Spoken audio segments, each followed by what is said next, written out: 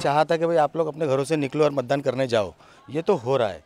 अब मतदान करना नहीं करना, ये मतदाता की मर्ज़ी होती है। मैं तो उन्हें कोई प्रेशराइज़ कर नहीं सकता। मैंने जो चीज़ें बताना था, बता दी। और इतनी धूप में भी जिस तरीके से लोग मतदान करने आ रहे अच्छी बात है। उसी तरीके से दक्षिण नागपुर में, पूर्व नागपुर में, पश्चिम नागपुर में भी इसी तरीके का माहौल है। और पूर्व नागपुर में थोड़ा सा स्लो चल रहा है मतदान, लेकिन धीरे धीरे हमको उम्मीद है कि वहाँ पे भी गति पकड़ लेगा। और एक अच्छा संदेश इस बार नागपुर से जाएगा ऐसी मुझे उम्मीद। माझं वोटिंग नागपूर लोकसभा मतदारसंघात आहे.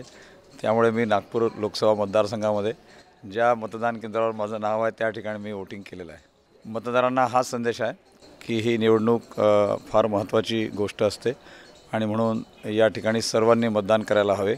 मतदान करणं हे आपलं कर्तव्य आहे. मतदान करून आपण योग्य उमेदवारालाच या ठिकाणी म्हणजे निवडून द्यावे अशी माझी सूचना आहे. आज नागपूरला सकाळपासून सात वाजल्यापासून मतदान सुरू आहे.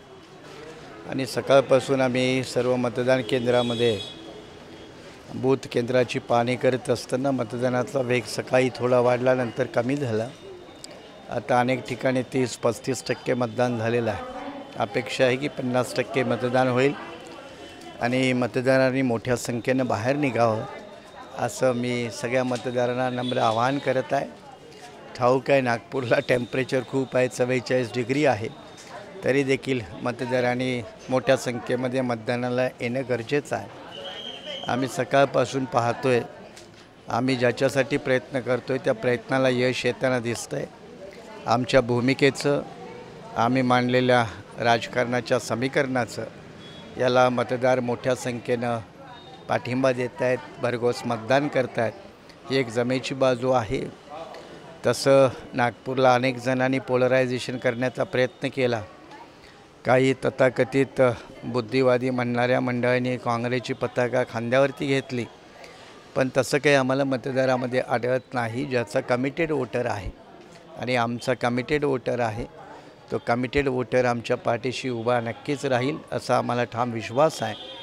आणि दुसरी बाब म्हणजे अनेकांना विशेषतः बहुजनवादी फुलेशम आंबेडकरी चळवळीतील लोकांना अजून आपलं स्वतःचं राजकारण मजबूत करण्याची अक्कल यायची आहे. आणि म्हणून काही लोकांना वाटतं दुसऱ्याचं राजकारण ए टीमचं राजकारण मजबूत व्हावं बी टीमचं राजकारण मजबूत व्हावं परंतु स्वतःचं राजकारण काही मजबूत व्हावं असं काही काही लोकांना वाटत नाही.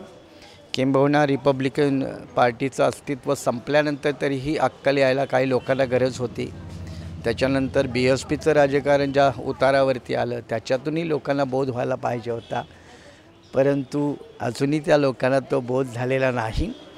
आणि म्हणून आगामी दिवसामध्ये एका नवीन समीकरणाची बांधणी करून पस्तीस टक्केच्या वरती समीकरण महाराष्ट्रात उभं राहिलं पाहिजे. मग ते खऱ्या अर्थानं बहुजनांचं असलं पाहिजे. मग कोणी उपेक्षित असतील शोषित असतील वंचित असतील दलित आदिवासी असतील भटके विमुक्त असतील आणि या सगळ्यांचं एक मोठं समीकरण उभं राहावं आणि त्यांच्या प्रश्नांना धरून उभं राहावं भावनेच्या आधारावर नाही अशा प्रकारे आमचा बी आर एस पीचा प्रामाणिक प्रयत्न आहे. आणि त्याला लोकांची साथ मिळते ही फार आनंदाची बाब आहे. आणि त्यामुळे या निवडणुकीमध्ये सत्ताधाऱ्यांना एका अँटी इन्कम्बन्सीचा मोठा फटका बसेल. विरोधी पक्षातल्या मुख्य उमेदवारांना त्यांच्या चारित्र्य आणि कर्तृत्वाबद्दल फटका बसेल अशा वेळेला महाराष्ट्रामध्ये फुलेशाहू आंबेडकरी बहुजन राजकारणाची एक शक्ती निर्माण होण्याची सुवर्ण संधी आहे. ते नागपूर घडवतील नागपूरकर घडवतील आणि नागपुरातील एक आंबेडकरी चळवळीची जनतेची राजकीय ताकद या मतदानाकडून दिसेल स्पष्टपणे दिसेल. त्याचा कौल आपल्याला तेवीस मेला जेव्हा निकाल येईल तेव्हा आपल्याला कळेल. आणि म्हणून आम्हाला खूप विश्वास आहे. हे आमचा नागपूरचा मतदार आम्हाला प्रचंड भरघोस मताची साथ देऊन प्रत्यक्ष अप्रत्यक्षरित्या विजयी करण्यामध्ये मोलाचा वाटा होता. आपला देश असा आहे हिंदुस्थान की या देशामध्ये मतदान हा जो आहे आणि आपल्या मताने आपलं सरकार निर्माण करण्याचा अधिकार जे जगाच्या पाठीवर कुठं नाही ते आपल्या इथं आहे. आणि सगळ्यांनीच या उत्सवामध्ये सहभागी झालं पाहिजे. कारण की पाच वर्ष आपण जे सरकार तयार करतो त्या सरकारचं आपल्यासाठी जे दायित्व असतं ते आपल्या मतदानाच्या रूपाने त्यांच्यावर जे ऋण आपल्याला द्यायचं असते ते आणि त्या पाच वर्ष त्यांना फेडायचा जो जबाबदारी असते ती फेडली पाहिजे. आणि म्हणून सगळ्यांनी या उत्साहामध्ये सहभागी व्हावं. अशी आम्ही नम्र विनंती सगळ्या राज्यातल्या जनतेला आज जिथं जिथं मतदान आहे तिथं तिथं सगळ्यांना करतो. आणि एक वेगळा आनंद नागपूरमधल्या या निवडणुकीमध्ये आम्हाला घेता आला.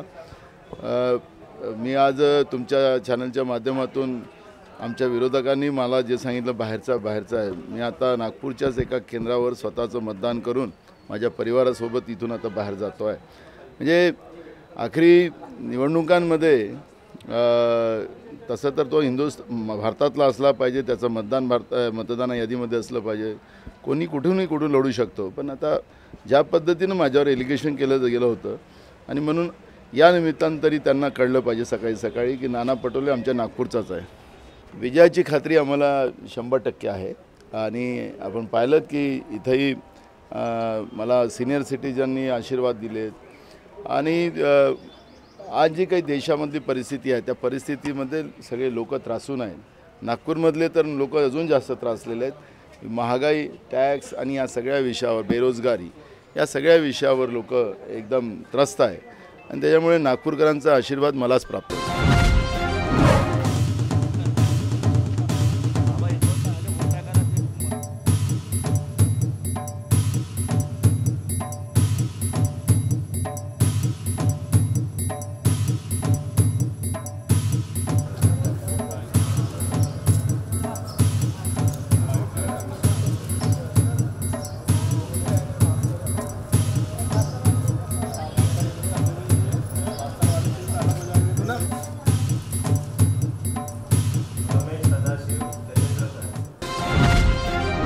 जो बाबा साहब ने अपने को बहुत महत्वपूर्ण जो मतदान का अधिकार दिया है, उसका उपयोग करना चाहिए। पहले तो ऐसी था कि सिर्फ़ एक ही वर्ग मतदान का उपयोग करता था, जो ब्राह्मणवादी है, वो एक ही वर्ग करता था। लेकिन बाबा साहब के कृपा से अपने को मतदान का अधिकार करने का मौका मिला तो सभी नागरिकों ने, से मैं गुजारिश करता हूँ कि मतदान से ही देश के लोकतंत्र और संविधान का बचाव हो सकता है। मॉर्निंग में टाइम निकाल करके इजीली हम वोटिंग करके जा सकते हैं। हमारा ये पहला अधिकार है और सबसे मेन हमारा कर्तव्य है तो हमें आना ही चाहिए। सत्ता हमारे हाथ है। अगर हम लोग वोट नहीं करेंगे तो कैसा होगा? सरकार कैसे बनेगी?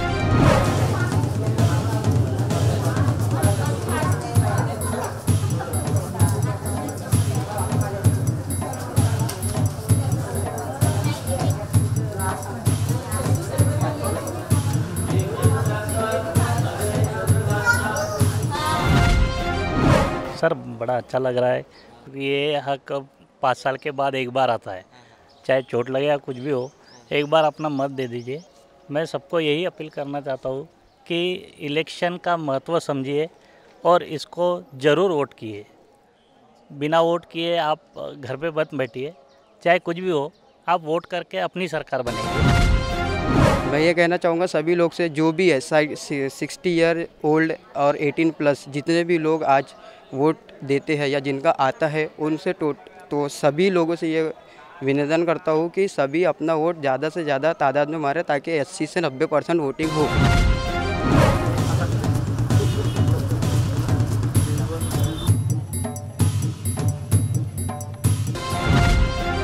आतमध्ये काय पोझिशन म्हणजे आ, ऐकलंय की स- जे प्रोसिजर आहे खूप स्लो होत आहे. हाँ स्लो आहे थोडीशी. स्लो आहे? कारण मला असं वाटतं की मध्ये ते रिपोर्ट घेणारे लोक जे आहे मेल फिमेल हे ते किती झालं दे आर त्यांचा डिस्टर्बन्स वाटतो मला. आणि मशीनही नॉट फुल्ली ओके असं दिसतं एकंदरीत.